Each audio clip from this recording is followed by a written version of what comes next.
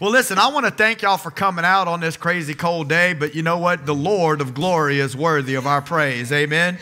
And look, I just got to tell you that I'm so excited about all of the different things. I'm getting testimony after testimony after testimony of God doing things in people's lives. You understand what I'm saying? And and the and the, the most beautiful part about it is that a lot of these testimonials that I'm what I'm hearing is that people and look, it's people well, I mean, when Bill gave his testimony and then somebody else recently shared with me, I'm not going to say nothing. I'm going to keep my eyes focused because I'm praying. But I've mentioned to a couple of different people because, and not just not just the person I'm talking about, but I talked to somebody this morning too about how God's just moving in in situations and like a river of truth just coming in and just like sweeping through and changing stuff. I'm talking about like spiritual deliverance taking place without a man laying hands on them. you hear me? Just the truth, the spirit of truth coming in like a river, and like changing stuff. Hallelujah. And look, that's a beautiful thing, friend. Okay? Because look, that's how the power of the Holy Spirit can work in our hearts and lives. So we're not going to, we can't box God in and say deliverance looks like this. No, no, no. The Holy Spirit's the one that brings deliverance. Amen. And sometimes they use a man to lay hands on somebody. And some, but look, for believers, let me just tell you something. For believers, it has to do with the spirit of truth. The spirit of truth of us understanding what the truth of the Word of God says. And then once we know that, for us to move towards that truth, we have to understand that there's going to be a constant battle between the flesh that still wants to be tempted or can allow itself to be tempted by the things of the world that are contrary to the will of God. And that when we submit to the spirit of error, we open up the doorway for these things to come into our heart and our lives. That's not what I plan on preaching about this morning, but I want you to know that Jesus was sent to us because within him, within this baby that was born, was contained the spirit of truth. Born into a world that was filled with lies and darkness. Born into a world that man was hurting that even the religious people of the world were actually holding God's people in bondage because it had become tradition and lies had been added to truth, and the truth had been watered down and diluted, and that the people were in the midst of darkness, yet the light of God came into the midst of this darkened world. Amen. And the truth of God, hallelujah, will heal you. I want you to know that. I'm having trouble with my little microphone this morning. Sorry about that. But look, this wasn't even part of my message, but as I had seen somebody, you know, come up to the front, and then I was worshiping after I got up, and I saw Kirk and Brennan, and I was thinking about the a couple other people had come and knelt, kneeled at the altar, and I, all of a sudden, you know, and I know I'm, this isn't, I didn't come up with something like this, but I was thinking, the wise, wise men bow to him. And I looked at the scripture, and I mean, a few different scriptures showed up. I mean, translations, but let's just read the King James, Matthew chapter 2. Sandy, you can have, do you mind putting the, are the scriptures going to work today? Really? Okay. Well, can you put me on channel two maybe, and I'll try to take over? I don't know how I'll do this completely, but because I got my little notes in here. Y'all might just have to deal with me because I'm, huh? Okay. Yeah, cool. Well, so anyway, we'll mirror the screen because I'd like you to see some of these scriptures this morning, but I may have to. Um, uh, yeah, I think maybe our internet's out. I don't know. Y'all got y'all got Bibles? Some of y'all still tote paper Bibles. Something's going on. The internet's broken. We won't blame Cox this time. Maybe the frozen weather did it. Let's go ahead and be sweet to Cox because Lord knows I've given him an earful a couple of times. Lord, forgive me. All right. So, what we'll do is, if you got a Bible, I'll try to lead you and guide you down these paths. But look, in this particular scripture, in Matthew chapter 2, verse 11, in the King James Version of the Bible, it says this It says, And when they were come into the house, talking about the wise men, they saw the young child with Mary, his mother, and fell down and worshiped him. And when they had opened their treasures, they presented unto him gifts, gold and frankincense and myrrh. I always preach about the gifts that oftentimes at some point in the Christmas season, you know, because of what they represent. But listen, I'm not even focused on that right now. I'm focused on the fact that they came and they bowed to the king. And one of the things that I want to just encourage y'all as the body of Christ that come and part of this congregation, that we really want this altar to be a place where people can be ministered to. And I want you to know that there's various reasons sometimes that people would maybe come to the altar. And one of the things, reasons that you would want to come to the altar is that you just want to love on Jesus. You want to just like, you want to just pour your heart out to him and you want him to minister to you. In the midst of that, maybe somebody will come lay hands on you. Maybe even somebody might have a word for you. Maybe they will, maybe they won't. But I want to just encourage you that to understand this that just because somebody comes to the altar, and sometimes that may be the case. Listen, eh, listen to me, listen to me, listen to me, listen to me, listen to me, listen to me, listen to me, listen to me, listen to me, listen to me, listen to me, listen to me, listen to me, listen to me, listen to me, listen to me, listen to me, listen fall at your knees at the face in, in the presence of God. I'm just trying to make a point. That's a, that's that would be an important. Oh, well, I couldn't do that, preacher. I, I, definitely couldn't do that. Look, back in the day, let me tell you something. When I got saved, and again, I, let me not go on and on. I'm just saying it's not about me and whatever, but. Has moved into a very seeker sensitive environment where we and it what it's done is is that it's helped protect things in our hearts that ought not be there yeah, what I'm trying to say is, is that hold on, preacher, slow it down, take it down a notch. Let's not make the people feel uncomfortable. But look, no, we need to get uncomfortable. Whenever, listen, and this ain't got nothing to do with my message, but when King David brought the presence of God, when he brought the ark back into the city of Jerusalem, which is the city of peace, and every six steps, which is the number of man, an animal sacrifice had to be offered because man is fallen, but God has an answer that would ultimately be Jesus, the bread of heaven that would come to earth. And listen, the sacrifice, a trail of blood, like Ross preached so many years years ago, leading the presence of God back into the city known as peace, which is Jerusalem, because you and I need peace in our life. But if we have strongholds of sin in our heart and in our life, and we're unwilling to submit them at the feet of Jesus, we will not experience the peace of God in our life. And we're going to sit here and we're going to wonder why, why, why. No, no, no, no. We need to bow at the feet of Jesus. See, when I first got saved, there wasn't none of this, Lord forgive me, I don't think it's a bad word. There wasn't none of this monkey shine going on. There wasn't none of this kind of stuff, worried about seeker sensitive and how we're going to make people feel. No, it was like you preach the truth and people respond. People respond not just to the preacher, but to the anointing of the Holy Spirit. They respond to the Word of God because it pricks their heart and they say, I need that. I need Jesus to touch me. I need Jesus to change me. So there may be times at the altar that that's what you're coming to do. And let me tell you something. Don't let that spirit of pride rise up in you. Oh, I couldn't do it. No, yes, you can do that. And as a matter of fact, you better do that. And if you don't want to do it at this altar, you better find an altar in your house and you better bow. We better, I better bow my knee to the presence of the Lord.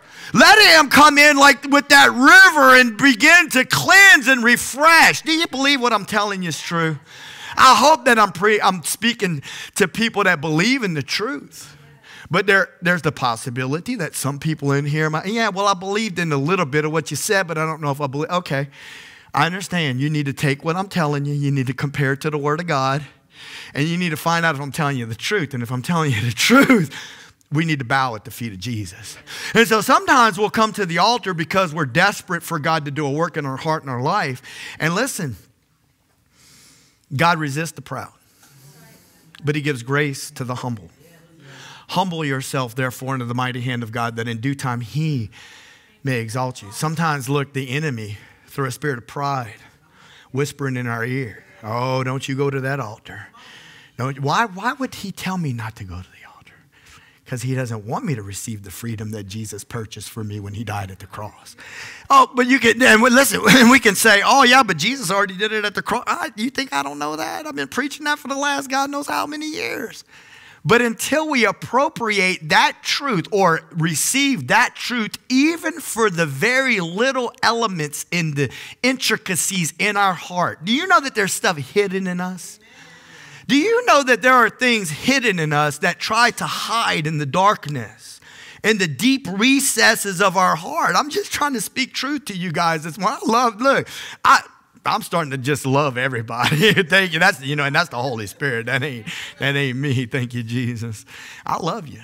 And so that's why I want to tell the truth, you know, and I want it to come across as though I love you. And look, we can't we need the Lord to be able to minister these things to our heart. Amen. So, anyway, when we come to the altar, we may be coming just to bow down and worship the King. So, just I want y'all to understand that because y'all the family of God, and I want y'all to understand that we should be free to come to the altar. Don't let the devil lie to you while you're sitting in that chair. Any one of y'all can come to the altar to, to lay down and to bow down before your King. And guess what? When you start to, I, I said it Waffle House, this, this is, but you know what? We need to just be real, right? We ain't got to have form and tradition, right? And so I can remember being at Waffle House after uh, Brother uh, Kirk and Sister Brenda had ministered, and whenever my daughter got touched, and I was asking her, Well, sister, what did you say to her? And she just said, and I think that this is so, it's not, well, it is profound because, like, she, I never thought of it like that, but it's at the same time it's very simple. she said, uh, she said she asked Sierra, baby, what, what do you want from God? And then Sierra said, whatever. She said, okay, take your lips and from your heart, tell God what you want him to do. And when she did, boom. Okay, now what I'm trying to say is, is this. Each and every one of us have things in our heart and in our life that the Lord's speaking to us about. And I'm not saying you have to come to the altar. You can do business with the Lord anywhere that you want to. I'm just trying to give you an example that that's kind of what the concept of the altar is about. That we come to unload our burdens at the feet of the Lord. We come to work. Sometimes, sometimes we may have strongholds or things in our life that we're wanting to give over to the God. And in the spirit of humility, as we come and lay them down at the altar, the Lord is pleased by the Spirit because He responds to humility. If He resists pride, He responds to humility. And His grace flows into humility. And so there can be breakthroughs that take place. Amen. In that sense, it's not so much because you came where there was a seven inch ledge or however tall it is of a piece of wood covered by carpet. It's not that. It's the concept of what takes place when a person comes in humility to lay their life down before the king. Okay, and then sometimes again, there's this place of worship where I'm bowing down just to exalt him and to give him glory. And I don't know about you, but I'm kind of thinking like mm, we probably all at some point in time should be coming to the altar and bow down and give glory to the king. Does that make sense what I'm trying to say? Cool.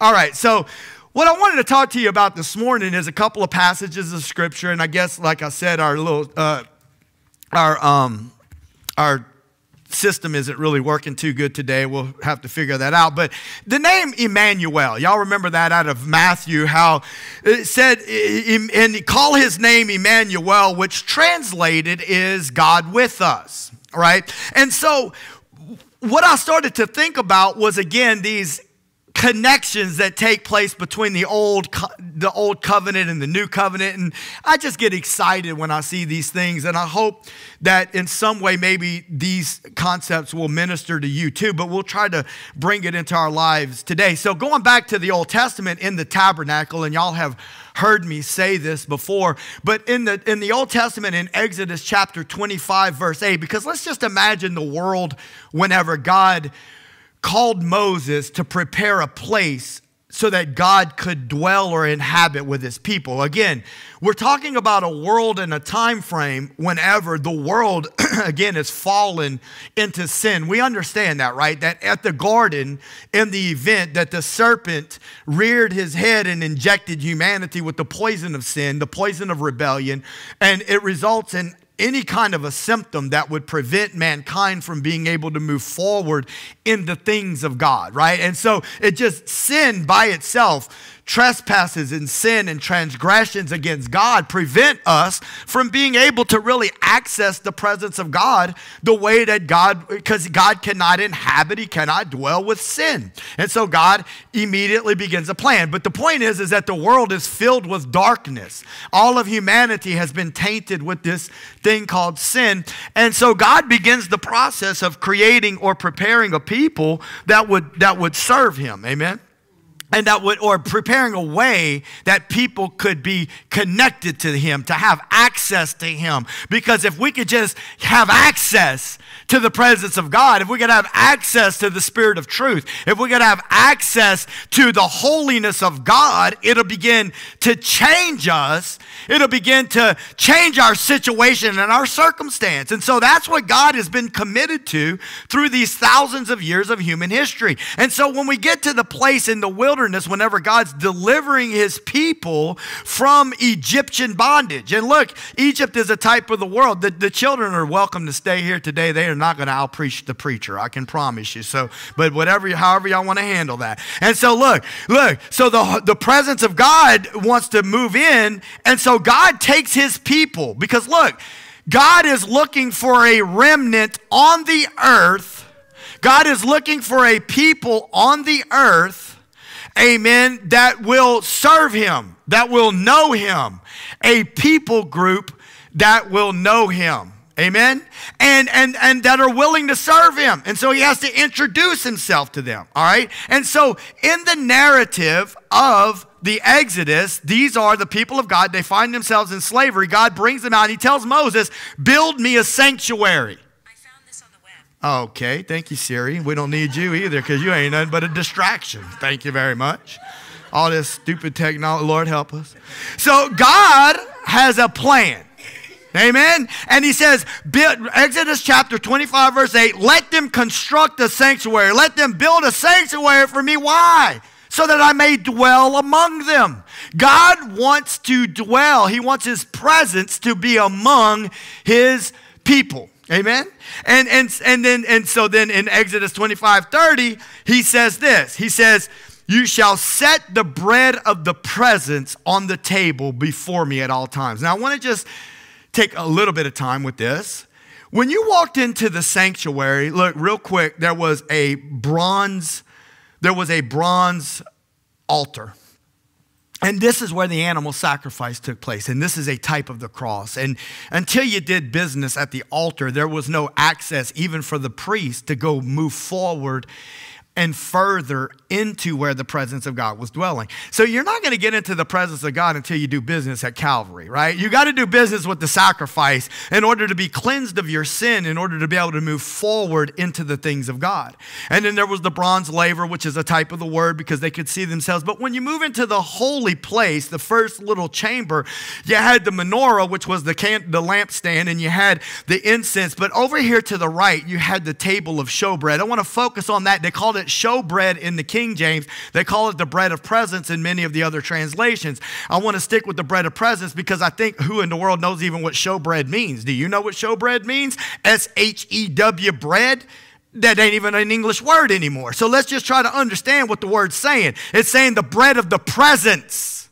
Okay, and whenever you move into the curtain, but you can only do that one time a year, and only the priest can do that, the high priest on the Day of Atonement. And it takes blood. He has to go once a, a, year. So God is saying, but listen, I want my people to understand. And uh, look, even only the priest once a week on the Sabbath could eat the bread of presence. So, I, one of the things that I need you to understand is that God is always trying to remind his people with all of these things that we do, they're supposed to remind us of who we belong to. For the Old Testament people, we talked about it recently, the, the firstborn and how they would have to kill the firstborn animal. And it was a constant reminder that they served the God, that they belonged to the God that delivered them out of the world with his mighty hand. And also the weekly Sabbath and then the yearly Passover and all of these things, and even the circumcision. All of these things were to remind the children of Israel who they belonged to. God wants you and I to be reminded who we be- do we belong to, to Jesus today? That's the question we have to ask ourselves. It's a good question. It's a very, very important question. Who do we belong to? It's a question that we have to ask ourselves. It's a question that our children need to ask themselves. Because just because, I'm just saying, just because I have come to the conclusion that I'm a possession of God, that I belong to God, doesn't mean that my offspring have come to that conclusion for themselves. Lord knows I've done a lot of teaching. Lord knows I, have done a lot of prayer. I need to do more prayer. And I'm going to believe God that they are going to come to that place or that they're moving further, further and further towards that place. But I'm just saying, like for each and every one of us, we have, do I belong to God? Because if I do belong to God, if I am indeed his possession, if I have indeed been purchased by his blood, if I no longer am my own, but yet instead I've been purchased with a price, and that I am his possession, then that means that I am supposed to submit to his will. Amen. And so that bread of presence was a reminder because you see, even the priest who represented the people of God could only go beyond the veil once a year, but once a week on the Sabbath, they would exchange the showbread or the bread of presence. So the bread of presence was a reminder my presence is with my people. You built me a sanctuary so that my presence could dwell with my people. And now, once a week, this bread of presence, which was actually six loaves, two rows of six loaves, six and six, twelve, equaling the, the number of the tribes of Israel, the people of God. Okay, and on top of it, a little container of some frankincense, which is kind of interesting because the table was made out of gold frankincense was was okay and what were the gifts that were given to jesus? This just hit me last night when i was reading. The gifts given to jesus were gold. The table of showbread was made out of gold frankincense and myrrh. Well then the frankincense would be taken and offered to god and burned on the altar. So if you've ever seen powdered type incense then it's an interesting thing the way that it burns. It, it, it, burns and it produces smoke and it can be very savory and aromatic whenever it burns, okay? But but so that was a type of sacrifice, all right. And so so that that that that part of it would be burned and then and then what would happen is those priests would eat the bread in the presence of God in that little holy place, and they would do that once a year. And, and if you go and you read the details of it, the idea is it was very methodical. Like, two, there was, if I'm not mistaken, I'm kind of shooting from the hip here, but I've studied it before and I've preached it before. And what I remember is that there would be four priests. Two of them would remove what was already there that had been placed there a week ago, and the other two would hurry up and stick the other two on there. Because he said, The bread of presence would be before me always. And then what would happen is, is that the, the priests together would eat the bread of presence in the presence of God, and it's a form of communion where they are engaging the presence of God and they're acknowledging that they belong to God and that this presence is even a type of communion way in advance that shows that the presence of God is coming to man. A reminder, a, a little thing in the Word of God way back in the past to show people like you and me, God was working on this way back then, right? And so that's what would happen. And, and, and let me just read it to you in Leviticus 24 5 and 9. It says, Then you shall take fine flour and bake 12 cakes with it. Two tenths of an ephah shall be in each cake you shall set them in two rows, six to a row. On the pure gold table before the Lord, you shall put pure frankincense on each row, that it may be a memorial portion for the bread. A memorial. He wants you to remember. He wants us to remember who we belong to. You know, it's not accidental that when Jesus ate the Last Supper or the last Passover, whatever you want to call it, with his disciples, he said, as often as you do this, you will do this in remembrance of me. It's a memorial. You're remembering Jesus. You're remembering his sacrifice. You're remembering also that he will return again. Amen. He says, On each row will be a memorial portion for the bread, even an offering by fire, talking about that frankincense, to the Lord. Every Sabbath he shall set it in order before the Lord continually. It is an everlasting covenant for the sons of Israel. It shall be for Aaron and for his sons, and they shall eat it in a holy place, for it is most holy to him from the Lord's offerings by fire, his portion forever. Listen, I want to just kind of say something, and I don't mean to be redundant, but I want to really burn this in the retina of your mind. That God does not want you, I know I've already said it, but I'm going to say it again. God does not want you to forget who you belong to. Because listen to me, there's a lot of communication on the outside. We can scroll through TikTok. We can scroll through social media, the world. Oh, you're picking on my, my I'm pick, yeah, I'm picking on your poison. That's exactly what I'm doing. I'm picking on your poison. The things that come from the world, the digital world that the, that the enemy has created, Somebody was sharing with me, and I really do hope we get to hear this. Listen to me, this is so powerful, dude. Somebody was sharing with me their testimony. And I'm telling you, dude, this is a powerful testimony. This person had been talking about the fact that they were caught up in a game. Call of Duty is what it was called, right? And I don't know. I haven't seen it. I'm taking the word for it. I've talked to a couple of people. Yeah, dude, I did see it. I was telling another person at the clinic. He was like, well, yeah, that's just the software. Okay. But do you not think it's a problem, Christian, that every time you go to load the game up, it says, I think this is what it says, and prepare for demonware. Prepare for demonware. What? Oh, come on, preacher. You're out of control, man. You're so technical. Do you really think? Because listen, when I just said that, if something jumped up from your belly into your brain and irritated you, that ain't the Holy Spirit, my friend. That is a demon spirit that is trying to. Let me, let me say that again, because there's a lot of there can be distraction going on in the house of God. If when I said that about demonware, something jumped up from your belly and clinged to your brain and said, This preacher's crazy that was not the Holy Spirit. That was a demonic spirit that's trying to irritate you. Number one, you're going to look at me frustrated because I said it and you're not going to like me anymore, possibly. But number two, you're going to reject the truth that was just spoken that could possibly be part of the answer to the solution of the stronghold that has been in your life. Do you think the world loves you? Do you think the spirit, do you think it's accidental that they called their software demonware? Okay. It's not, but let's just move forward, okay? That's just one little symptom, and we'll keep moving forward as the days go forward, and we'll keep interjecting these things as needed. Amen. I like the way that Robert used to say it. Why you think they call alcohol spirits? that was pretty good. Why? Come on. We're imbibing spirits. Lord, help us. All right.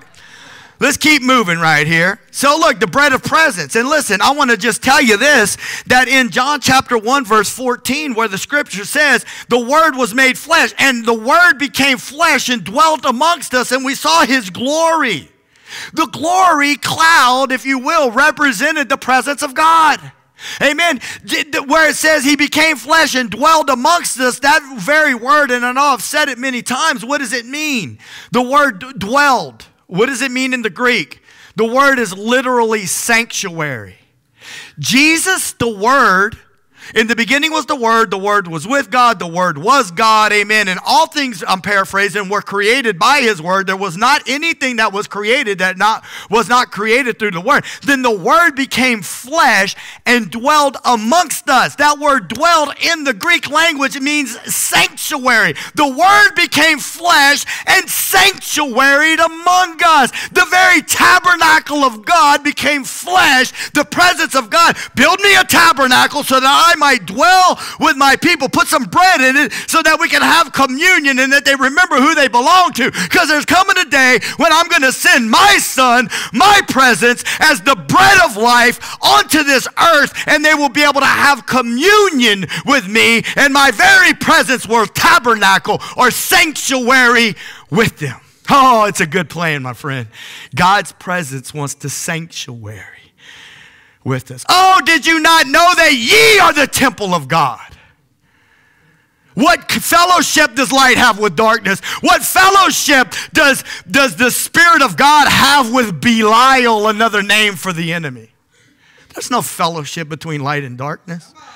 Help us. You now have become the temple of God. Well, how did that happen? Because the very presence of God that was represented in the tabernacle on the mercy seat when the blood was applied, he said, I will meet with you between the cherubim. And the very presence of God represented in the showbread that was eaten every other week, and the very presence of God that showed up in sanctuary with us when he died on the cross. Hallelujah. He promised that the comforter would come. And when you and I bow our knee, to the King of Kings and the Lord of Lords, what happens? The Holy Spirit rushes in. He makes the presence of God a home on the inside of our heart. And the whole nativity story is birthed not in a manger, in a stable, but in a heart. Amen. And it keeps happening. Praise God. And so, in that sense, Matthew 1 and 23, he said, Behold, the virgin shall be with child and shall bear a son and they shall call his name Emmanuel, which translated means God with us. Amen. That's a good word. Amen. God with us. Praise God. God, God is with us. Do you know the privilege that we have? I mean, just sometime today, let's just think about that the privilege that we have. And, and listen, when I say this, how many times I know many of you have engaged? I mean, I'm just looking around this room, and there might just be really less people that have not tried to talk about Jesus than people that have tried to talk about Jesus to other individuals. Because I know most of you personally, okay? And I know that many of you, the majority, have at some point engaged in conversation about Jesus. And along the way, you have seen some people that their eyes light up and they're like, man, there's something about that. You know, they're receiving it. And then there's probably been times, if it's been anything like in my life, where they're like, basically going to sleep. They're looking off into the corner over there. They're doing this over here. Oh my gosh, when's this guy going to stop? Okay.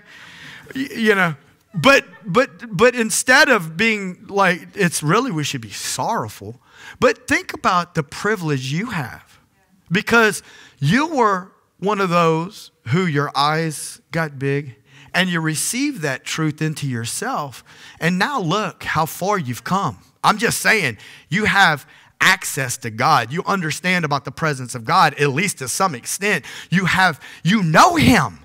What a privilege to know him. We do believe that he's real. We wouldn't be here on Christmas in freezing cold weather when I got my, my unfortunately, my pipes didn't make it through, but we're going to figure it out. But, but nevertheless, we made it here because, because it's important to us, amen, to give glory to our King right and so i just wanted you to know now now with that said i'm going to shift for a second away from the bread to deliverance because you know, when, when, when Angie preached a little while back, when she preached on the Exodus chapter one account, I went back and I, I she told me, I said, You ready for you bringing some fire, girl? And she said, Yeah, I'm preaching on Exodus one. And so I was in triage and I was seeing these patients, but I got a little break. I said, Let me go back and read Exodus one. I was like, Oh man, look at that. Look at that story. When the children of Israel began to multiply and they began to gain strength, what happens? The enemy does not want to see the people of God gaining spiritual strength strength.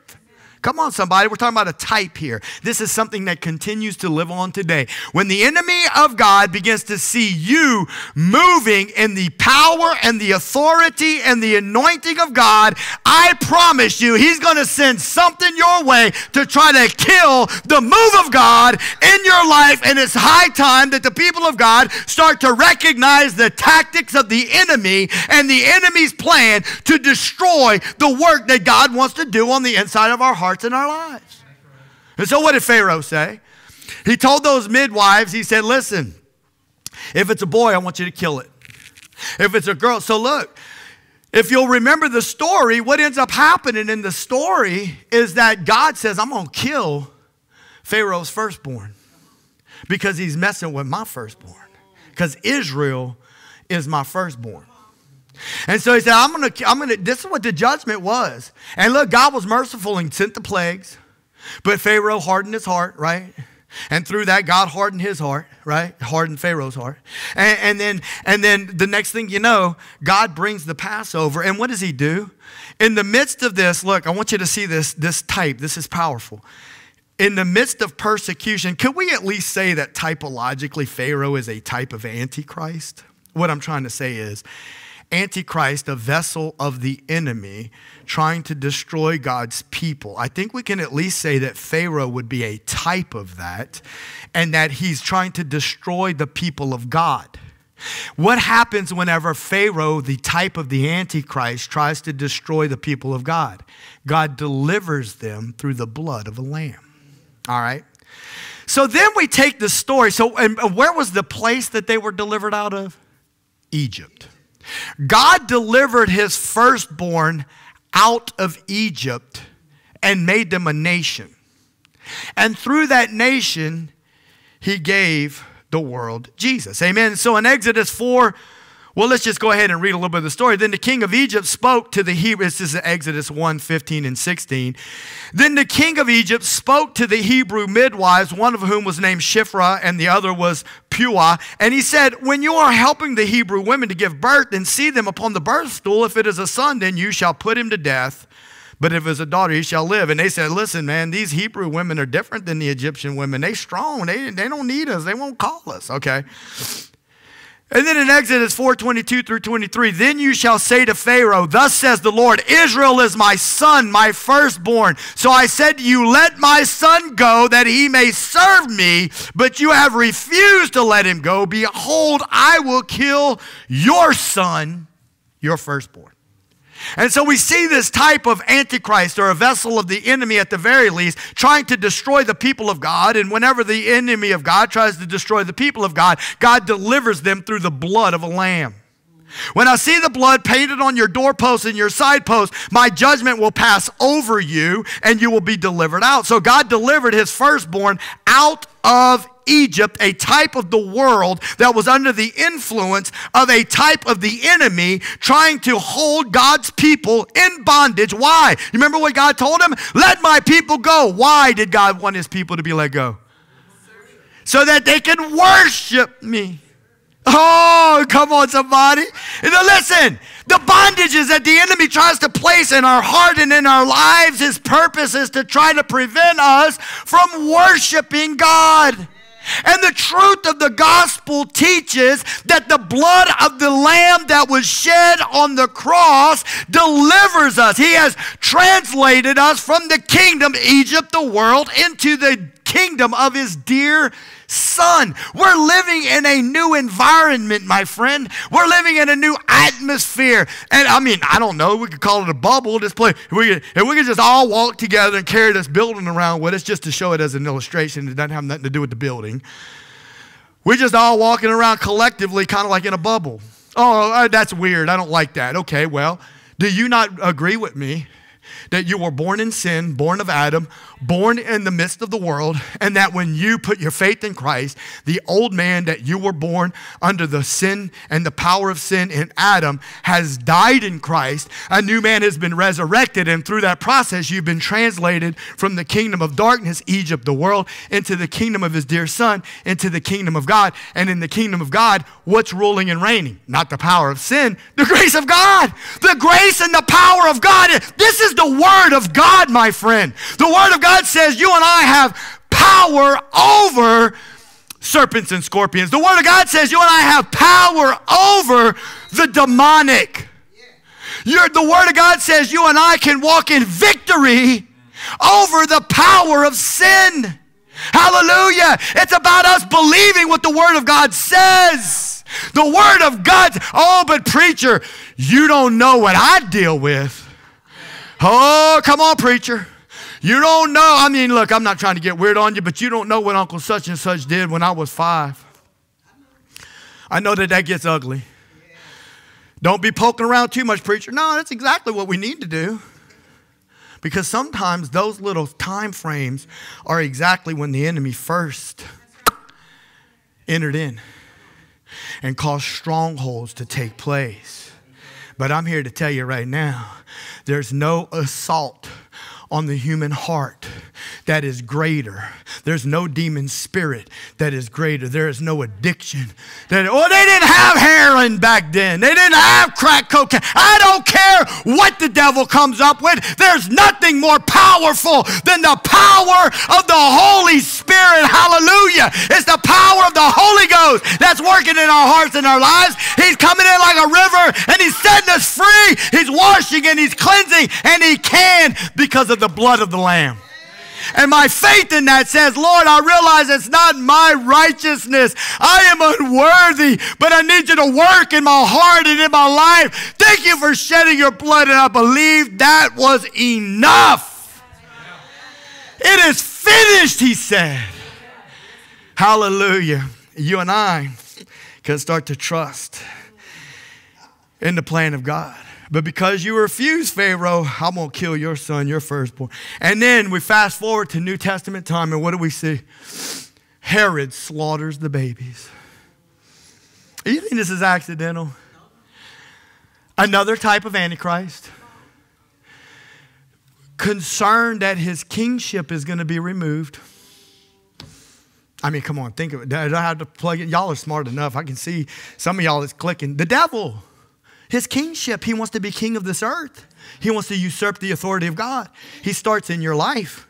He starts in individual lives, and then he takes these individuals and he usurps the power of governments. He, he, he, he wheedles his way into governments and politics, and he wheedles his way into the music industry, and he wheedles his way into Hollywood, and he wheedles his way any way that he can to inject the lies his lies to bring confusion into the heart and minds of God's people. Matthew chapter 2, verses 16 through 19. Then, when Herod saw that he had been tricked by the Magi, he became very enraged and sent and slew all the male children who were in Bethlehem and all its vicinity, from two years old and under, according to the time which he had determined from the Magi. Then what had been spoken through Jeremiah the prophet was fulfilled. A voice was heard in Ramah, weeping in great mourning, Rachel weeping for her children, and she refused to be comforted because they were no more. But when Herod died, behold, an angel of the Lord appeared in a dream to Joseph in Egypt and said, So where were they? Where did the Holy Spirit tell Joseph to go? When Herod began to want to kill the babies, he brought them back to Egypt. That's an amazing thing that just hit me the other day when we were praying in our house for our little Christmas get together last week. We, we done had so many Christmases. And look, I'm just going to be honest with you. I hope Naya's watching. Can we give that production, all of y'all that were involved? I'm telling you right now, listen. That was a communication of the gospel of Jesus Christ. I was, I was blown away by the way that it all just flowed. Okay? And look, I know that God was behind it. So thank you, Naya, for that. But look, when, and so I've had so many Christmases already, you know, that it's just, I mean, Christmas celebrations. And, but while we were there, I was thinking about Angie's message. I was thinking about Herod killing the babies. And I was thinking about the fact that God delivered his firstborn son Israel out of Egypt, which is a type of the world. And then when he delivered his firstborn son, the bread of presence, into the earth, he sent him back to Egypt whenever the other type of Antichrist was breathing threats to kill the babies. And I started to realize because God so loved the world that he gave his only begotten son that whoever believeth in him should not perish, but instead could have everlasting life. So God delivered Israel out of the world so that he could give the world Jesus. And then when he gives the world Jesus, what was the purpose of Jesus? To bring deliverance to the world. So it's a type. And Jesus is bringing deliverance to the world. How? The same way the Passover lamb brought it. Through the shedding of righteous blood, God's judgment will pass over the people of God, and it, judgment is going to rest or find itself laid upon the people of the world. And so God is in the midst of doing this beautiful work. So in this, so in this, so in this, so in this, so in this, so in this, so in this, so in this, so in this, so in this, so in children. He brings the presence, Emmanuel, God with us. He brings Emmanuel to earth. Herod wants to kill the children. God sends his true firstborn, Jesus, back to the world. Amen. And when we take communion, like those priests did, it represents his presence. We were instructed by him to do this until he returns because we're recognizing that he is the very bread of presence that was sent by God. And that when we engage in this, we're remembering his sacrifice. We're remembering the fact that he forgave us of our sin. We're remembering the fact that he said he's coming back again. And this is another way for us to remember we are the people of God. And God so loved the world. Amen. So, just again, Pharaoh tried to destroy God's firstborn, Israel. What did God do? Deliverance. Herod tried to kill. Now, this is about to get, I'm about to get a little bit of eschatological on you. Oh, that's a fancy preaching word theological word. Why you want to use them big old words? Eschatology just means the study of end time events. That's all it means. So we're talking about the end. I'm gonna well, but this is the beginning of the new birth. Yep, we're gonna carry it through to the end too, but in this little message right here, because I'm about to close it out for you. Pharaoh tried to destroy God's firstborn Israel. What did God do? Deliverance. Okay, deliverance, how? Through the shed blood of a lamb. How many times have I preached to you the same way Look, uh, just real quick. What is it? Is it is it Psalm 53 where David writes the psalm after his sin with Bathsheba? And what does he say? Purge me with hyssop. A lot of times people don't realize, but hyssop was a plant. Solomon taught about it. It would grow out of the cracks in the, in the walls. It was, a, it was an absorbent type plant. When they applied the blood on the doorposts and the side posts, guess what they used? Hyssop. They dipped it in the blood. Now, you think that that's not what David was talking about? You think David, King David, did not understand as a young Jewish boy, learning the, the scriptures since his childhood, that he did not understand that hyssop was used to paint the doorpost? You think that Israel was not reminded that God delivered them out on the Passover night after all the things that we've talked about, that we've talked about, that we've talked about, that we've talked about, that we've talked about, that we've talked about, that we've talked about, that we've talked about, that we've talked about, that we've talked about, that we've talked about, that we've talked about, that we've talked about, that we've talked about, about it, we've talked about it, we've talked about it, we've talked about it, we've talked about it, we've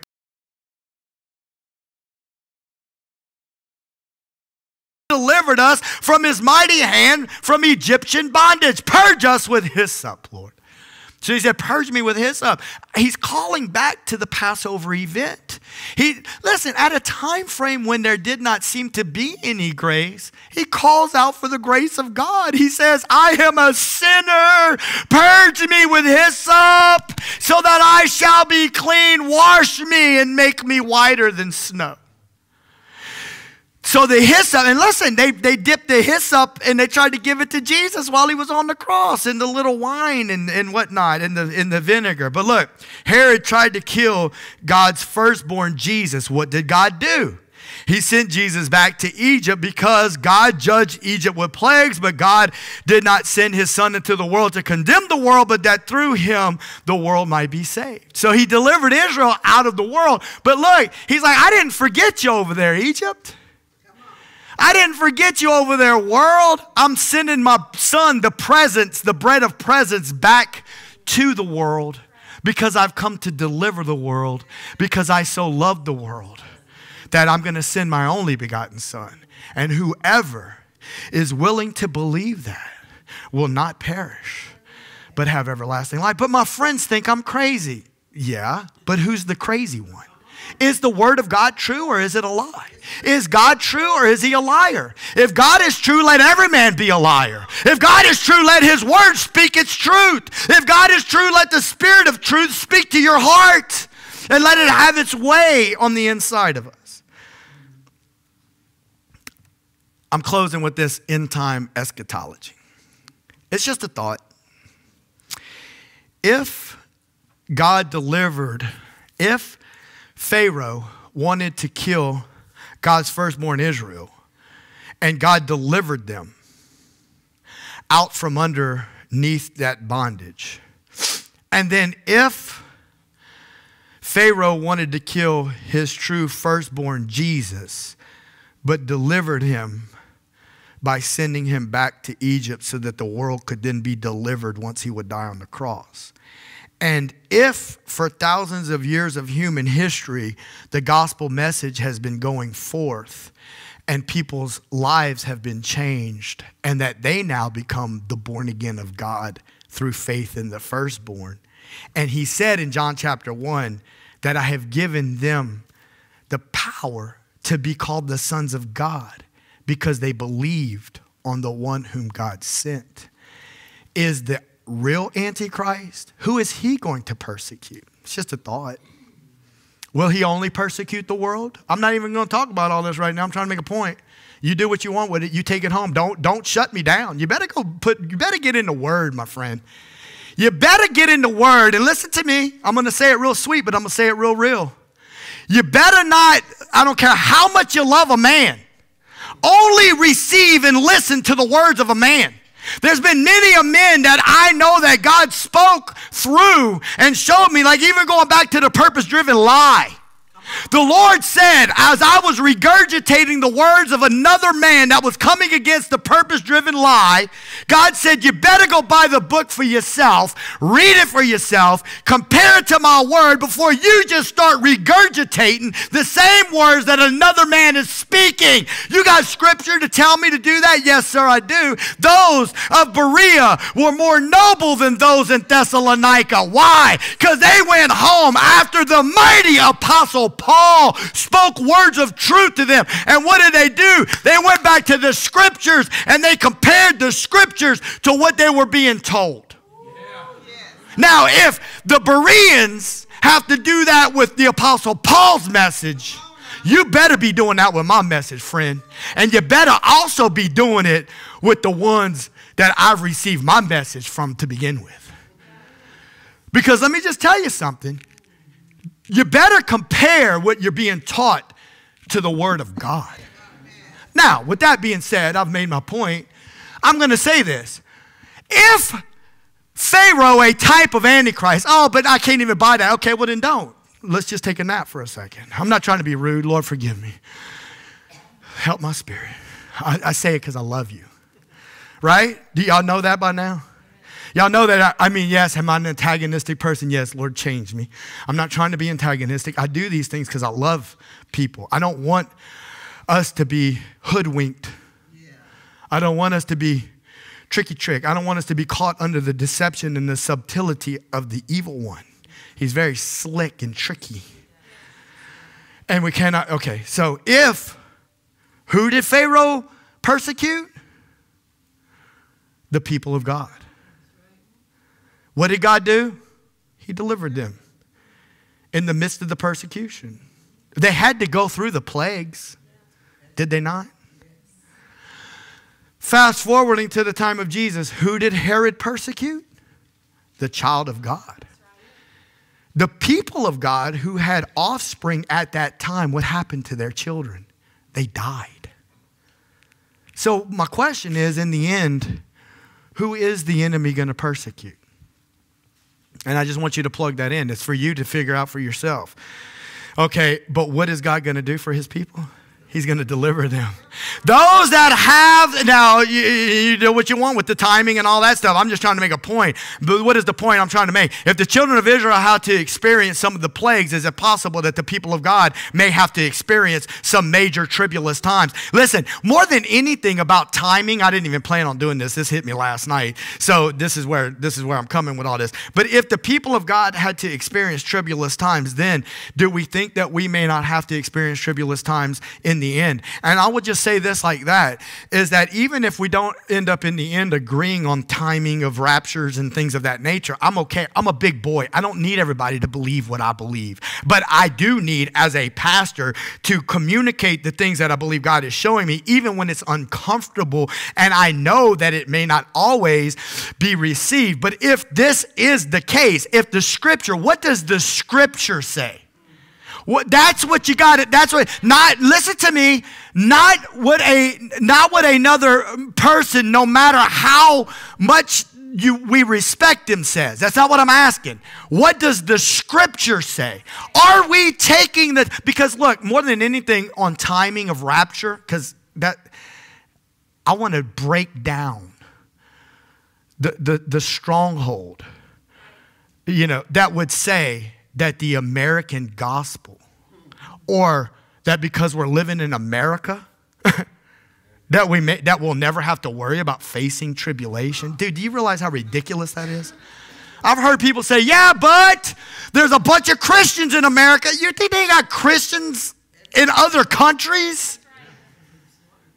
You think they don't have uh, Christians in other countries that have more faith than you and I do? You think the Apostle Paul didn't have faith when before Nero cut his head off? You think Peter didn't have faith before they hung him upside down on the cross? You think you get the point? Well, why would God allow such a thing to happen to these mighty, mighty men of God? If it wasn't possible for these things to happen to mighty, mighty men of God. Well, why would you preach such a message on Christmas Day? Because the good news is that He sent the bread of presence. He sent the bread of presence to be with us so that we could have communion with him so that no matter what we face on this earth no no no persecution. What does romans 8 say? I am convinced that no angel no he goes through a whole litany of things not trial not tribulation not even angels can keep us from the plan of god from the presence of god. No matter what you and i may face god gave us a gift and the gift packaged up in those swaddling clothes was his son. But the gift of that presence will get us through, my friend. We need to hold on to the spirit of truth. And we need to let the spirit of truth prepare our hearts for what God desires to do. Amen. Singers, musicians, if y'all could come, we're going to go ahead and be prepared. Listen, I just want to say a couple of things about communion. This is the bread of presence, it's a reminder, it's a memorial Jesus said, As often as you do this, you do this in remembrance of me. This bread of presence represents the sinless life of Jesus. The bread of presence represents the sinless life of Jesus, and in the Old Testament, the bread was unleavened, leaven representing sin, yeast, yeast, the representation of sin. There was no sin in Jesus. That's why when he died on the cross, God was able to accept his sacrifice because he was without sin and he paid the wage of sin, which is death. Amen. The blood represents the cross, the fact that he shed his blood for our sin. Amen. In the Corinthian passage, I'm not really going to read it to you, but Paul said in the night that the Lord was crucified, I received the same. And he quotes that, that Last Supper, that last Passover meal. But what he's doing is he's using it to explain to the Corinthian church that they've been doing things improperly. There's the possibility that even in a church like this, we may do things improperly if we're not careful. What we don't want to do is do things improperly with communion because the Bible says that sometimes the people of God can be sick if they're not doing it properly. It says if you got to rightly discern the Lord's body. Now, I will tell you this that I'm going to say a couple of things real quick. Number one, to rightly, he says in there, you take the Lord's Supper unworthily. Now, the word unworthily is actually an adverb, it's describing the action. Now, what he was telling the Corinthian church was that the rich folk were coming first, eating all the bread, drinking all the wine, and then the poorer folk were coming in afterwards and there was nothing left for them. And he's rebuking the Corinthian church. Remember, that's the church that had all the gifts. But anyway, let's just leave it like that. He was rebuking the Corinthian church because of the way they were treating their brothers and sisters. And, and he says, you're, you're, you're, you're not recognizing discerning the Lord's body. This isn't cracker and juice time, my friend. This isn't like a little, uh, uh, Lord, forgive me, I want to be reverent, but this isn't like a little nibble and, and toss back a little, a little sip of juice. What we're doing when we're rightly discerning the Lord's body is we're remembering and we're recognizing the severity of sin. We're remembering and we're recognizing the cost that was paid to redeem us from our sin that God so loved the world that he gave his only begotten son, that he sent the presence of God into this wicked, darkened world. Amen. And at the same time, we have to also examine ourselves. The word wasn't unworthy. If you're a believer and you're born again and the Holy Spirit lives in you, you are worthy. You've been made worthy by the blood of the Lamb. That's one of the reasons we take communion to remind ourselves that He made us worthy. But whenever we're taking it, we also need to examine our own hearts. Because can I tell you this that even us that understand the New Testament message, if we're going to call it the message of the cross, if we're not careful, you know what we will do? We will do the very thing the Apostle Paul warned the Romans about. He said that we would continue in sin so that grace may abound. We will forget the severity of sin. We will, when we start to understand justification by faith and understand that God has declared us innocent and righteous based upon the sacrifice of Jesus, and we start to realize that it's not about our righteousness, but instead it's about Jesus' righteousness, if we're not careful, we will start living, we, we will start thinking we can just have all this liberty. And, and, and, and we, will, we can allow liberty to open a door. The devil ain't playing games, my friend. He will take any opportunity he can get to come in. So, what is my point? My point is, my point is this is that, my point is this is that the Holy Spirit wants to communicate truth to us. And this is the truth we have freedom and victory over the power of sin through faith in Christ. The problem that we run into is kind of like what Robert used to say when the Lord said, Wash the feet. Peter said, Oh no, wash the whole thing. No, no, no, you've been made clean. The Word of God has made you clean. The truth of the Word saves us and makes us clean. But when we're navigating this dirty world and we're walking upon this dirty world, sometimes our feet get dirty. Sometimes there's things that we don't even realize that we have allowed to enter in. And look, what we got to do is we got to at least examine our hearts and we got to bring those things that we know that the Lord has been dealing with our heart about and bring it before the Lord. So in these next few moments, as they're worshiping the Lord and they're singing, I'm just asking you you to examine your own heart and to pour your own heart out towards the Lord and to ask, for, you know, repent, ask the Lord to help our minds and our hearts so that we would connect to the truth of God's word and that we would believe that what we're remembering right here has set us free. That his sacrifice has set us free. And that if we will continue to keep faith in that, the Holy Spirit's going to give us victory. It's the Holy Spirit that's going to give us victory. Amen. So look, as they're worshiping, you do we're going to do business with the Lord and when you're ready, you're going to take the bread. And when you're ready, you'll drink the cup. But examine your heart and allow the Lord to do a work in us. Amen. Thank you, Father. Thank you, Jesus.